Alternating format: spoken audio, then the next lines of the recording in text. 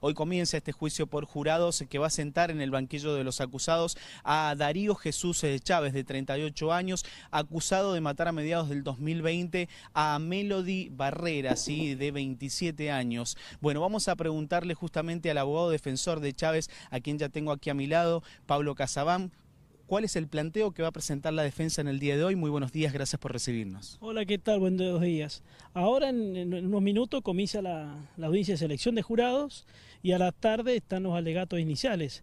Nosotros vamos a plantear lo que venimos planteando desde el principio, desde el momento en que tomamos la, defensa, que es que en el caso de Chávez, que ha reconocido la autoría del hecho, pero estamos discutiendo que eh, lo que en realidad ocurrió fue una legítima defensa por parte de Chávez ante un ataque ilegítimo de Melody. Esta circunstancia no es menor, toda vez que las acusaciones, las dos, han omitido esta circunstancia del ataque ilegítimo.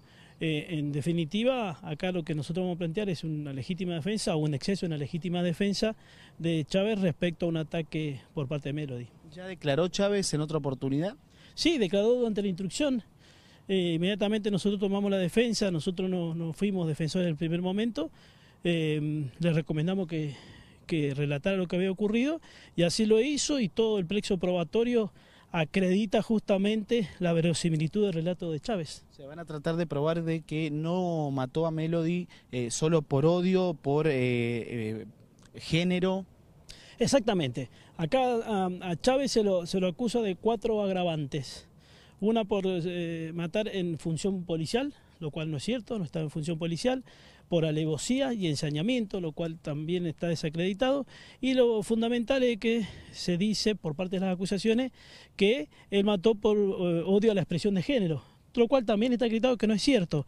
Acá lo que está claro y acreditado es que Chávez sufrió un ataque ilegítimo que no provocó él ese día y luego se defendió.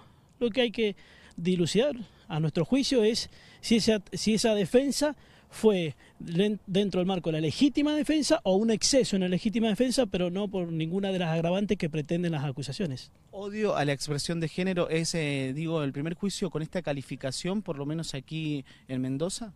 Tengo entendido que sí, eh, porque la verdad que no, no es común. Eh, puede ser que haya ocurrido en otras circunstancias y no se lo haya calificado de tal modo. Pero insisto, esta calificación para nosotros no es correcta y es justamente es lo que vamos a plantear. Acá no se discute eh, quién mató a Melody, se sabe quién mató a Melody y lo ha reconocido Pepe Chávez. El tema es acreditar por qué y cómo fueron las circunstancias de, ese hecho. Y justamente eso es lo que va a cambiar absolutamente la calificación y confiamos en el criterio, en el sentido común del jurado.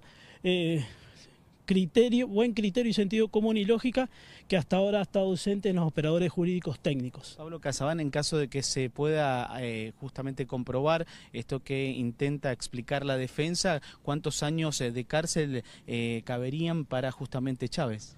En el caso de que se lo encuentre culpable por un exceso en la legítima defensa, él responde por la pena del homicidio culposo.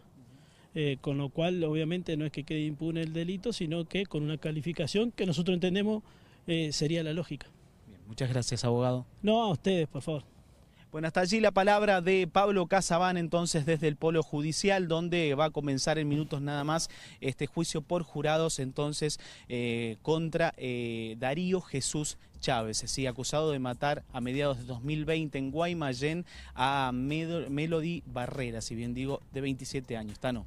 Bien, Pablo, muchas gracias. Eh, muy amable, un momento que va a ser histórico, sin lugar a dudas.